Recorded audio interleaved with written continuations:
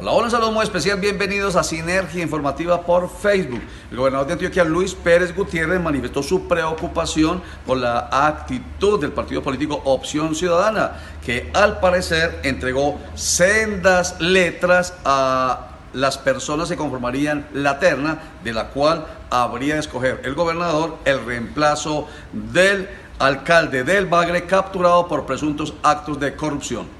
El gobernador de Antioquia, Luis Pérez Gutiérrez, denunció que la alcaldesa encargada de El Bagre, María Yolima Madrigal, habría firmado una letra por 300 millones de pesos con el fin de ser incluida en la terna para sustituir a Ángel Mesa Castro, elegido por voto popular, quien fue suspendido y capturado el 15 de noviembre de 2018 por presunta participación en la celebración de contratos sin cumplir los requerimientos. Gladys Alboleda, precandidata a la alcaldía de San Rafael, ¿qué piensa usted de esta noticia? Pues a mí me parece un hecho muy, mal, muy, muy lamentable.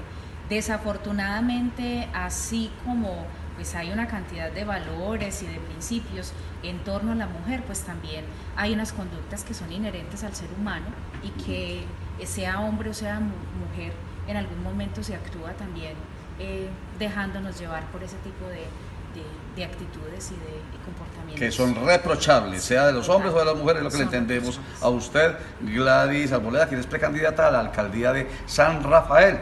Ojo con esta información para usted y para todos ustedes. Cerca de 5 mil personas han sido desplazadas en el departamento de Antioquia en los últimos cuatro meses. El director general de la Unidad para la Atención y Reparación Integral a las Víctimas, Ramón Rodríguez Andrade, dijo que en los últimos cuatro meses se han desplazado aproximadamente 5.000 personas en el Bajo Cauca antioqueño, debido a amenazas de grupos armados ilegales. Los municipios con mayor número de desplazados son Cáceres y Tarazá. El nuevo Código General Disciplinario podría alterar las aspiraciones de algunos concejales y diputados que renunciarían para aspirar a alcaldías o gobernación de Antioquia. El nuevo Código General Disciplinario, aprobado mediante Ley 1952 de enero de 2019, fue sancionado por el presidente Iván Duque el pasado 28 de enero. Según la interpretación de la norma, esta podría dejar por fuera de la contienda electoral para gobernadores y alcaldes del próximo 27 de octubre a varios aspirantes. El artículo 43 que habla de incompatibilidades, los concejales o diputados no podrían aspirar a cargos de elección popular en el ente territorial donde han ejercido como corporados, si no renunciaron un año antes de las inscripciones.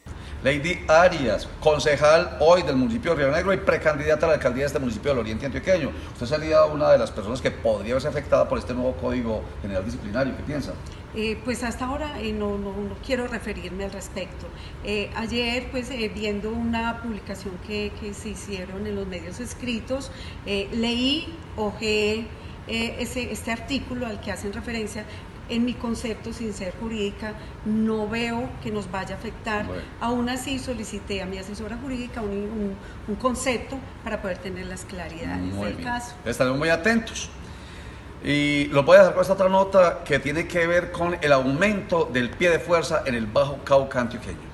La secretaria de Gobierno de Antioquia, Victoria Eugenia Ramírez, informó que el Gobierno Nacional apoyará al departamento con mil soldados adicionales debido a la necesidad de más pie de fuerza, especialmente en el Bajo Cauca, donde hay exceso de cultivos ilícitos. Los uniformados llegarán a realizar erradicación manual en los plantíos de coca. Vea las notas completas en el perfil de Facebook de Roger Vélez y en el fanpage de Sinergia Informativa para personas inteligentes, interesantes y calificadas como usted.